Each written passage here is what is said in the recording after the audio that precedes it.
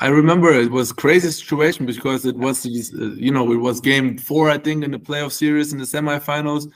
Um, in the end, we won the game. You know, we were happy all about it and already went out. You know, uh, and celebrate. So we are in the finals, and then uh, the, the, the the call came. So hey, guys, we have to be on the bus tomorrow to play a, a game four again. It's like, what the hell happened? And then you know all the uh, all the stories pop up. So it was Anne Panther one of the best female referees out there you know and uh, uh, she she made the she made the decided uh, decision that the the, the Stockton wasn't the right guy because Heiko Schaffartzik he was uh, uh, or is one of the biggest names in, in German basketball on, on, on his position.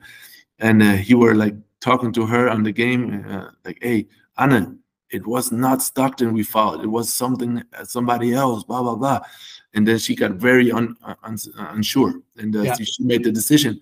And uh, the funny, or not, not the funny part, but the, the interesting part is, I was talking with Anna a couple of weeks ago about this situation because we have 10 years uh, celebration this year of the championship, and we want to do a whole story around it.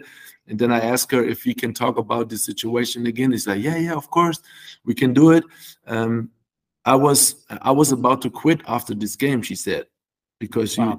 she it was so tough for her making this decision to change the shooter. Wasn't the right way. The, the game has to re, you know replayed, and uh, and and she was really thinking about not doing this job anymore. And uh, it's then you can see how much pressure is on the referees as well. You know, they make decisions who can change like a season or you know uh, maybe also a coach's career or whatever. You know, um, yep.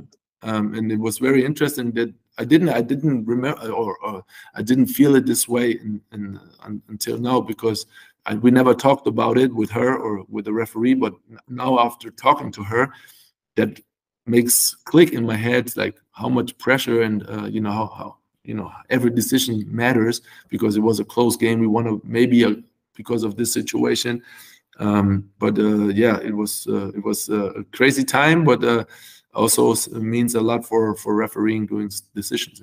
Yeah,